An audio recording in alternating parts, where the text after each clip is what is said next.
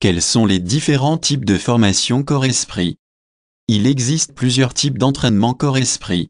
La méditation et le yoga sont des méthodes couramment utilisées d'entraînement intégrateur corps-esprit. Le biofeedback, l'entraînement autogène et la thérapie par l'art sont quelques-unes des autres méthodes permettant d'établir le lien entre le corps et l'esprit. La méditation est l'une des méthodes les plus simples et les plus efficaces pour l'entraînement corps-esprit. Cela implique de calmer l'esprit des pensées conscientes, y compris les stress et préoccupations quotidiens. Lorsque ces distractions sont supprimées, l'esprit est connecté au corps. Plus la personne passe de temps en méditation, plus cette relation s'est renforcée. La respiration profonde, la relaxation musculaire progressive et l'imagerie guidée peuvent tous être utilisés pendant la méditation pour aider à amener la concentration de l'esprit sur l'état physique du corps. Le yoga est un autre excellent type d'entraînement corps-esprit. Le yoga se distingue des autres méthodes d'exercice physique car il met en œuvre des techniques de relaxation et de respiration afin de renforcer les liens entre le corps et l'esprit.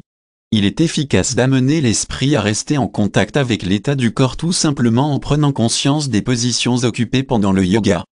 La thérapie par biofeedback est une autre méthode très efficace d'entraînement esprit-corps. Le biofeedback a de nombreux usages différents en thérapie psychologique et physique ainsi que dans la gestion de la douleur. La technique est très intuitive et consiste simplement à écouter les messages du corps pour améliorer la santé.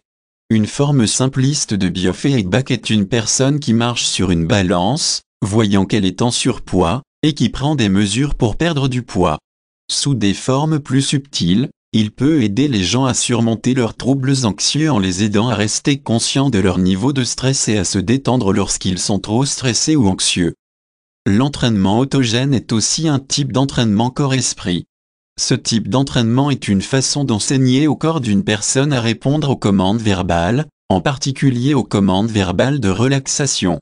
Cette technique met en œuvre différents exercices de réduction du stress, qui prennent en moyenne 4 à 6 semaines à maîtriser.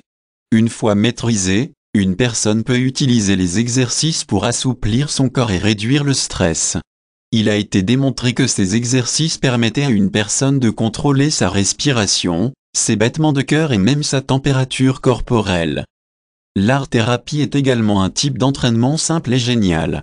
La thérapie par l'art est efficace pour connecter le corps et l'esprit, mais elle nécessite un peu de pratique pour certaines personnes.